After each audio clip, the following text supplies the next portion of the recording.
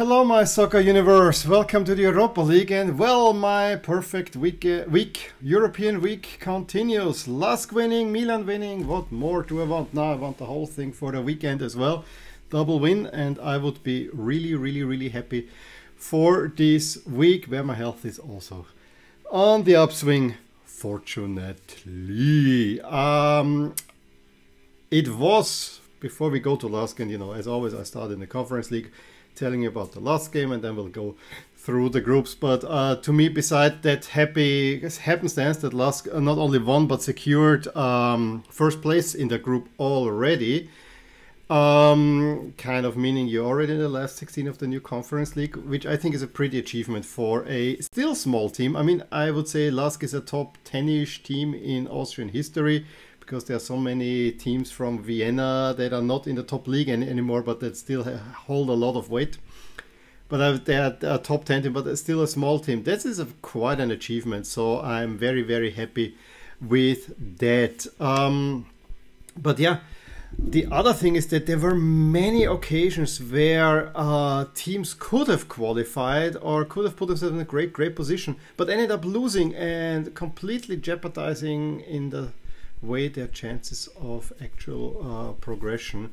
Most notably, of which is the only English team that did not record a win, actually, a shock loss of Spurs at Mura. That was also in the Conference League, uh, but there were also quite some interesting things in Europa League. But we'll start in the Conference League. Um, Lask playing at Tel Aviv. It was a true final. Lask going in there with a form that I think they had six um, games won away from home uh, in a row, and they were about to make it seven. Um, rather contentiously, they of course played in their pink jerseys. The fan base will be not very happy with with it, and I also thought if they play in all black there, uh, that, that that would make more sense. But okay, yellow against pink, I think was not that bad of a matchup overall. But um, yeah, I, I would have preferred to see the black jerseys played there. But I know there's a contract uh, that they have to play in pink. Go figure in any case, uh, first half was actually Maccabi Tel Aviv much better. They surprised uh, because they have a new coach, and uh, Lask kind of made it very dense in the middle, but left the flanks wide open. And Maccabi came left and right after you know the game was not a good one, but the future the few chances that they had were actually quite quite big. They even had a one to one with goalie Schlager at one point, and. Lask had really some trouble hanging on there, but on the other sense, they had hand. They had also the one big chance where the Israeli goalkeeper uh, plays it out. It's intercepted by Horvath, who plays it immediately to Goik, Goik, who just puts it dead wide. If he gets a little bit of curl on the ball, uh, that might go in, or if he one times it. To be honest, I think he has the ability, but for some reason he decided to, st- uh, to stop it and then you know let the defenders in. If he one time, times, I think he has a really really good chance of pulling that one into net. So um, I would say rather lucky at the half a little bit. However, in the second half, uh, they shut up shop. Totally shut up shop. Maccabi did not really have a chance anymore. And from that point on, only lost a chance. A chance that completely took over the game. And in the end, it probably should have been more than just a one goal. Uh, going again with a great chance, then Nakamura with a nice shot. Um, you know, a little bit hidden the, the, the shot, but it was saved by uh, Peretz, was the goalkeeper for uh, Maccabi. Um, and then also making the right changes and in, in, in the end it is Schmidt who I honestly I was not so happy with him I thought he is, he is a good transfer but in many ways he was disappointing uh, but he gave, gives the assist to Horvath, and then it's Horvath and Gruber running free on goal. And Horvath, uh, he said after the Wohlwar's interview, yeah, I had enough confidence, confidence to make it myself. And if he would have said, it would have fallen to Gruber, and he makes the goal. So, all fine. 1 0 in the 89th minute. They left it late, but the goal came, and that means not that Lask finishes for sure for, uh, first because they own the head to head over Maccabi. So even if they should lose at home to Helsinki in the last round, uh, they're through. That goal was worth, I think they, they said 1.2 million euros uh, because not only do you get the um, uh, the money for the points, but you also get double the prize money for finishing first. So a uh, pretty big step there. And as I said, for a small team who's just building a stadium, all that money can be immediately put into the stadium. I, for my part, am very, very, very pleased with that. Um, I was one of those that said, okay, maybe let's let the conference league go and really uh, focus on the championship. It might help. Well, I think I was wrong, and I'm very happy. And maybe things are look, looking at the up, but now it really counts. They need to win in Hartberg on Sunday. Okay, let's look at other games uh, that uh, were happening. Uh, group B was was the poster group where uh, Ghent and Partizan both could have easily uh, secured the passage to the next round, and both managed to lose. Uh, the especially Partizan losing to Flora seems to be an absolute uh, mind f. You know what I mean? It is actually keeps both Flora, uh, Flora and um, Anatosis, Anatosis, I guess, uh, in the running for top spot where uh, Ghent is already through, thanks to the other results. So uh, a really, really, really weird group.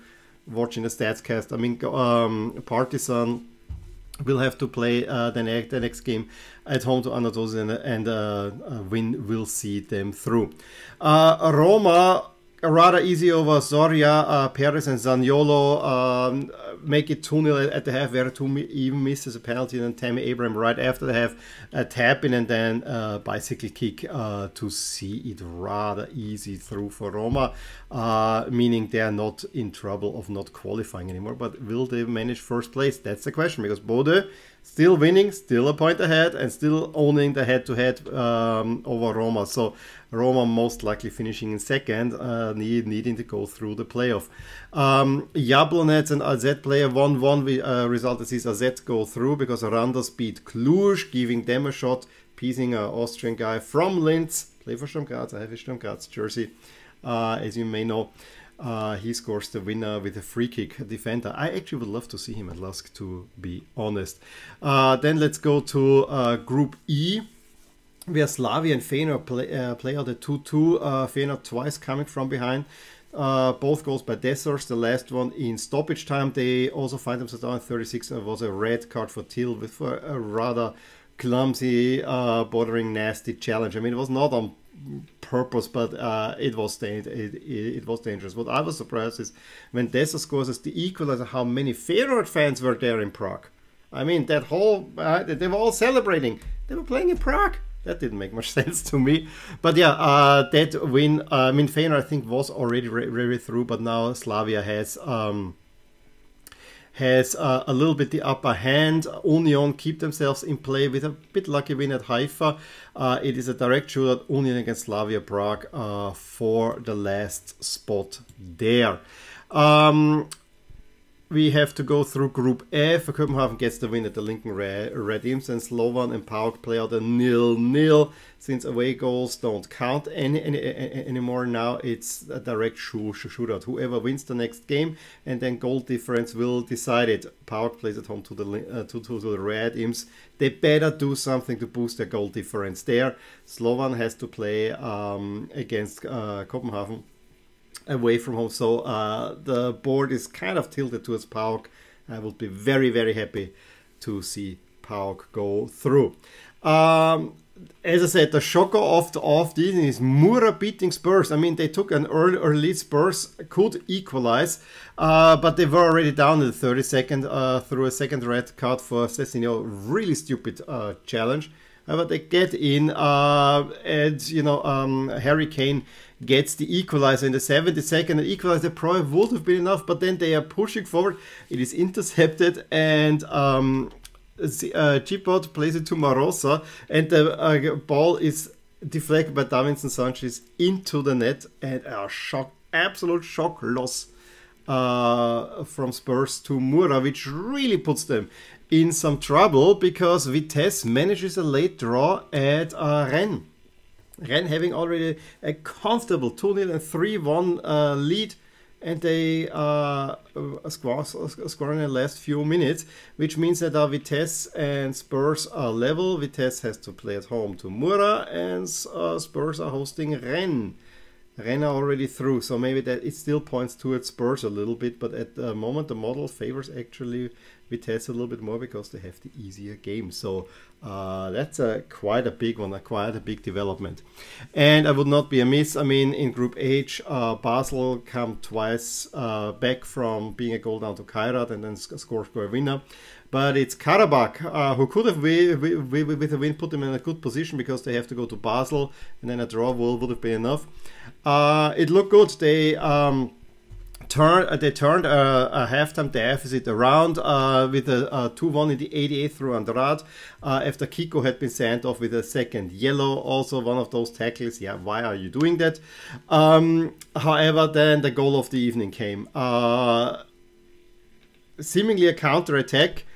And uh, Gomez sees that the Karabakh goalkeeper a little bit out of, out of his goal. And from just behind the halfway line, he scores an absolute worldie. The goalie even tri- uh, tripping over to make it a little bit more slapstick. Great, great, great goal, one has to say. Moving over to the Europa League, we have, uh, let's start again group, group by group, although we have already a rather remarkable result up uh, there. Lyon 1 0 down against Brøndby, but Ryan Cherki scores a brace thereafter and they run away 3 1 winners. Uh, Rangers also getting a big win uh, 2 uh, 0 over Sparta, which also see them through to the next round. So uh, that group is Orisa Sparta going down into the uh, playoffs for the Conference League. Um, so that's the ah yeah, and the second goal by Rangers by, by, by Morelos. I mean, there was really the uh, the Sparta defender wanted to play it over to his uh, teammate across the goal mouth. Morelos just said, "Thank you." Bong. slapstick goal. So speaking of slapstick goal, that definitely was one. So uh, Monaco against Real Sociedad was a rather entertaining affair. I mean, it took a little bit to go, and then uh, rather messy goal by Volland really got the game uh, ignited. Isak with a very after very fine assist by Jan Januzaj with a nice, chip uh, puts uh, makes it one one, but more more from the uh, corner then ensued after kick kick kick off uh, Fofana heads it in, and then the game really got back and forth. Uh, Real Sociedad trying to score the one thing is Rasota barely can score more than one goal at this moment, which I find uh, rather uh, curious for a team that's so high up in the league. Fofana is sent off very, very, very late for a rather rough tackle, but Rasota cannot find a winner and a little bit in trouble because PSV have absolutely, absolutely no problem with Sturm Graz. Also behind closed doors, loads of fireworks behind there. Uh, what what can I say? I mean, uh, the the panel. I mean, the uselessness of Sturm Graz going forward. I mean, they got the game settled, uh, but going forward, there were two contexts. One, where they actually can really, really nicely play, and then uh, you have even two men in, in the box, and the answer just needs to cross it in, and he plays it back to another, uh, to a PSV player. Uh, and then the first goal came from a penalty it's a situation where it's pretty clear the goalie needs to get to it. Uh, they mess this up. The whole thing becomes a mess. They mishandle the ball. Suddenly, Götze has the ball, and the goalie comes and checks down Götze. Clear penalty. Vinicius steps up, although uh, Siebenhandl was there. Um, and then after they have Brum, I mean, they scored, I, I think, even another one. Um, but it was every bit of 2 0 that was was your um, um, other favorites. There was one chance where Sturm could could could could have attacked, and you see three players moving forward, but completely forgetting that someone needs to go to the ball that has been played. This was so absolute ridiculous. the ball played, They were the three go all in position. Well, there should have been a fourth one to take the ball, and one of them has to move towards the ball. If I was a Sturm fan, fortunately I'm not, I would be really, really, really annoyed. Well, I shouldn't say for for Sturm at the moment is doing better in the league. Group C, uh, that is another one that when you saw the draw, you thought, yeah, Leicester and Napoli are gonna go through. Most likely, one of those, uh, very likely, one of those will not. Uh, it's because they play each other the last match day, uh, and I think there's no because Napoli losing losing to Spartak Moscow to do Sobolev uh, goals in the first half. only Elmas can pull, pull, back. So Spartak uh, owns the head, uh, owns the head-to-head over Napoli. So should they finish in level 11 points, Napoli can, can win him. So Napoli needs to win against Leicester.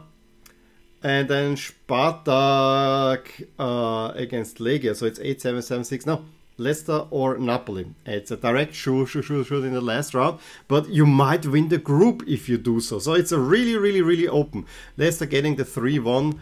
Uh, but the one thing over the Napoli game is, of course, uh, Spalletti making a huge stink. The Sparta coach didn't want to shake his hand before the game, and then Spalletti decided, no, I'm not going to shake your hand after the game. You love a good coaching rivalry, but that group is really, really open, uh, which we cannot say for Group D, where Frankfurt just misses of winning the group.